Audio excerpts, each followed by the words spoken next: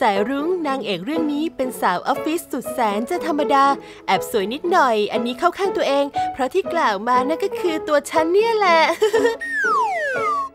ในตอนบ่ายของวันใกล้สิ้นปีวันนั้น นี่นี่สายรุ้งขอเวลาพักร้อนหรือยังเนี่ยฉันขอมาแล้วนะ ฉันจะไป trekking ล่ะที่เอเวอเรสต์สนใจหรือเปล่า เอ่ออะไรกลิ้งกลิ้งเหรอมันคืออะไรอะ เถอยทำไมเชยแบบเนี้ยเทรคกิ้งก็คือออกแนวเดินป่าเดินเขาชมธรรมชาติแบบสวยๆไงล่ะ เนี่ยแล้วก็ถ่ายรูปลงไอจีแบบนี้แบบเนี้ยนะ แล้วจีเน่จะไปเดินที่ไหนล่ะ เขาเขียวก็เดินได้นี่ไม่เห็นต้องลาพักร้อนอะไรเลยอะ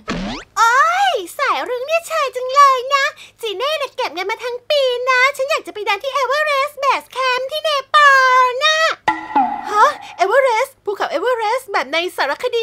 ที่เขาไปปีนเขากันอะไรนั่นน่ะนะ ใช่แลนอ๋อ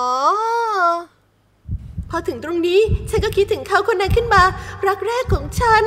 เอออะก็ได้ ความจริงก็คือฉันแอบชอบเขาข้างเดียวนั่นแหละ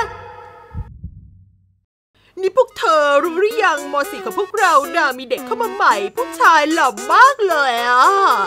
อ่าอ่าเห็นได้ยินเขาพูดมาเหมือนกันนะ ว่าแต่ฉันก็ยังไม่เคยเจอเลยแล้วแกรุ้ง แกเคยเจอเด็กใหม่ยังอะฉันก็เพิ่งรู้ตอนนี้ตอนที่พวกเธอบอกเนี่ยแหละนะ เห็นเขาบอกว่าเป็นลูกของนักปีนเขาชื่อดังระดับประเทศเลยนะ อันนั้นไงขณะที่กำลังเมาเขาก็เดินมาพอดี ตอนที่เขาเดินผ่าน ฉันแทบกลั้นหายใจอ้าย หล่อมากเลยอะยังกะหลุดมาจากเคป๊อปโอปป้าอะไรอย่างนั้นเลยอะนะน้ำตาจิไหลตะเกียฉันแกล้งจนเกือบปลดออกมาเลยหล่อหล่อจนตายแทบวายแค่มากไปเปล่าวันหนึ่งฉันบังเอิญเจอเขาอีกครั้งในห้องสมุด เขาเดินมานั่งที่โต๊ะที่ฉันนั่งอยู่พอดี โอ้ สวรรค์บันดาล ฉันรวบรวมความกล้าในใจโอกาสก็มาถึงแล้วก็เลยลองชวนเขาคุยดู เออ สวัสดี นายย้ายเข้ามาใหม่เหรอ ครับ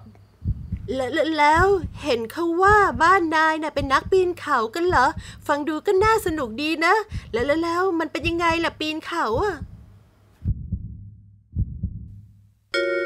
เขาไม่ตอบ เขานิ่ง มีเพียงสายตาเย็นชาส่งมาทั้งฉันนนนนนนี่ ฉันพูดอะไรผิดไปหรือเปล่าเนี่ย ทำไมรู้สึกเหมือนความเงียบงันที่ห่างไกล ก็นั่นแหละ หรือว่าฉันกลิ่นปากแรงก็ไม่น่าใช่อะนะ ทำไมถึงเป็นอย่างนี้ก็ไม่รู้สิ เฮ้ย แกเนี่ยร้ายไม่เบาเลยนะ กล้าไปทักคนที่หล่อที่สุดในโรงเรียนในเขตภูมิ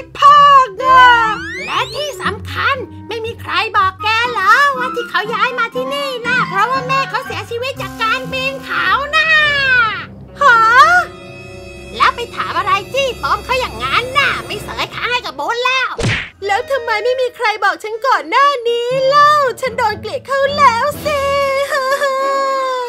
เฮ้ยแกก็น่าจะตามข่าวคราวเขาบ้างนะ ในทีวีเขาออกข่าวนะแม่เขาเป็นนักปีนเขาระดับประเทศ สร้างชื่อเสียงให้กับประเทศมากมาย แต่ครั้งสุดท้ายเขาเกิดอุบัติเหตุขณะที่ปีนภูเขาชื่อว่าเคทูอะไรนั่นน่ะจนเสียชีวิตเลยล่ะไม่นะ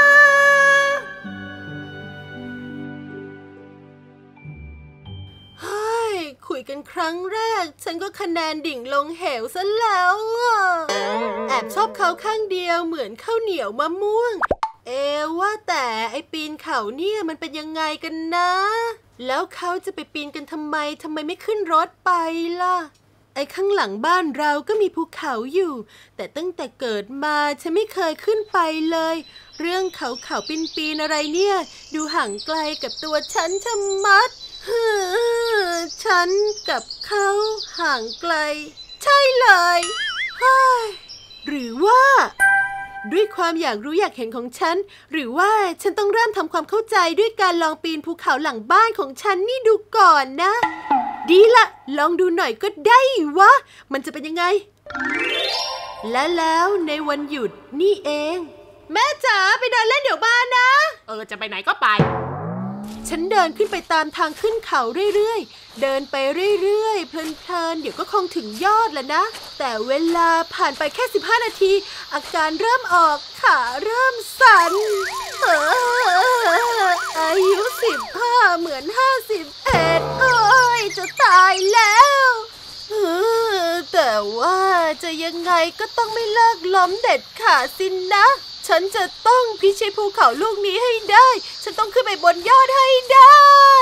ฉันเดินจนหมดแรง แต่ก็ยังไม่ยอมแพ้ ค่อยๆก้าว ค่อยๆคคลาน จนในที่สุด ฉันก็ไปถึงบนยอดเขาจนได้ สุดยอด ในที่สุดฉันก็ทำสำเร็จ โลกจะต้องจารึกชื่อฉันเอาไว้ สายรุ้งผู้พิชิตยาฮู ฉันจะต้องเอาเรื่องนี้ไป นี่นางหนูเขานี้ฉันจองแล้วนะเอ๋ยาย ยายอะไร เพิ่งแปดสิบเมื่อวานมาเรียกยายเดี๋ยวโดนเตะ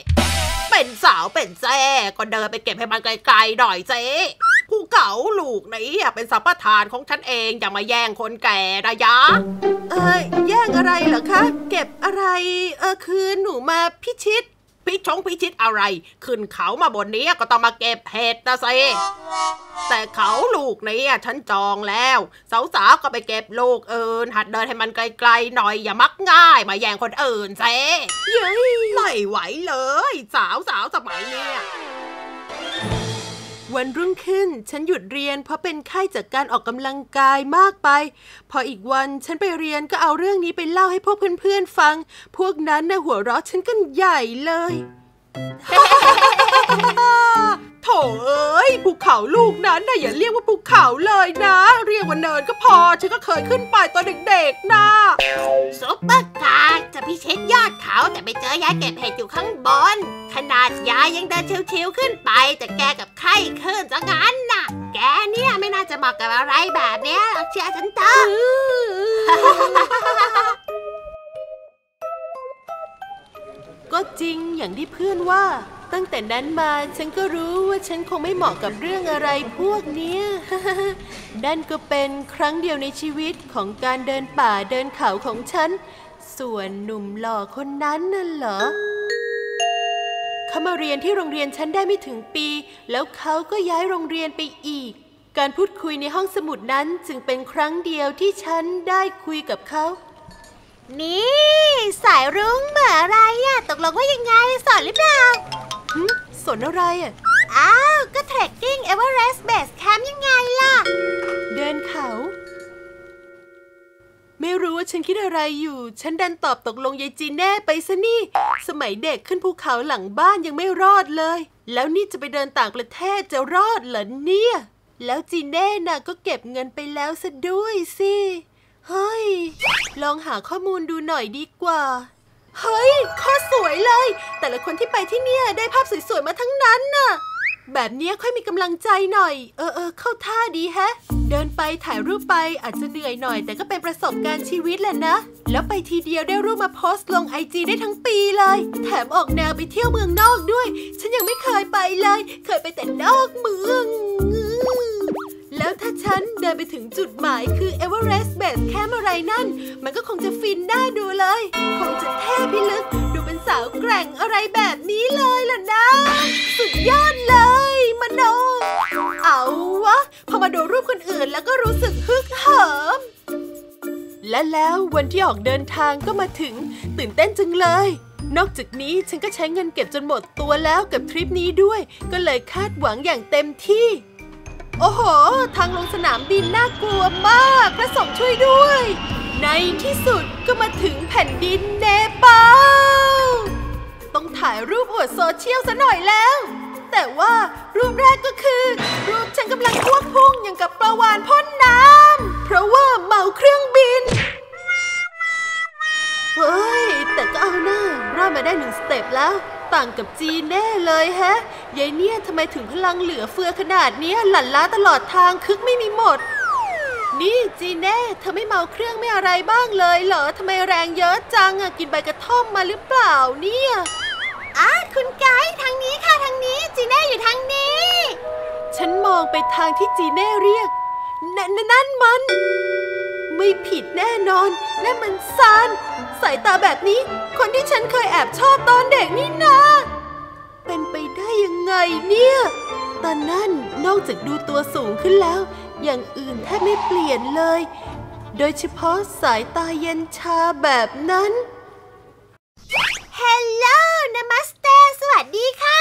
พี่ซานใช่ไหมคะ นี่จีเน่กับเพื่อนเองค่ะแหมตัวจริงหล่อจึงเบยเรามาเริ่มกันเลยไหมคะ จีเน่ปลีเข้าไปทักทายไกด์ของเราอย่างสนิทสนมทันที แล้วก็ใช่จริง ๆด้วย ใช่ในซานคนที่ฉันเคยรู้จัก แต่ว่าเขาจะจำฉันได้ไหมนะ หมอนั่นปลายตามองมาที่ฉันแต่ก็ไม่ได้แสดงสีหน้าอะไรเลย แล้วก็ไม่ได้พูดอะไรด้วย เขาน่าจะจำฉันไม่ได้สินะ ถ้างั้นทำเป็นเบลอๆเงียบไปดีกว่าจำไม่ได้ก็ดีแล้วล่ะ ไปเลยค่ะพี่ซานพร้อมแล้วค่ะ ครับทางนี้ครับไอะเดี๋ยวก่อนอื่น รูปแรกสำหรับทริปนี้ขอเซลฟี่ด้วยหน่อยสิคะอ้าวหนึ่งสองสามแชะวิสวยหล่อเหมาะสมกันจังเลย รีบลงไอจีดีกว่า วันแรกของการแทร็กกิ้งก็สดใสไปเลย อกเดินทางได้ จุดหมายแรกหมู่บ้านพักดิ้งใช่ไหมคะ ไปเลยค่ะ let's go let's go และแล้วการเดินทางของพวกเราก็ได้เริ่มต้นขึ้น ไม่สิ ต้องเรียกว่าเป็นการเดินทางของฉันกับสองคนนั้นมากกว่า อย่าพลาดต่อตอนสองนะคะ เอาใจช่วยสายรุ้งหน่อยจ้า ฝากทุกคนกดไลค์ กดแชร์ กด Subscribe แล้วกดกระดิ่งแจ้งเตือนช่อง Spooky TV กันไว้ด้วยนะคะ จะได้ไม่พลาดคลิปใหม่ ๆ ของพวกเรายังไงล่ะ กดเลย กดให้หน่อย ขอบคุณจ้า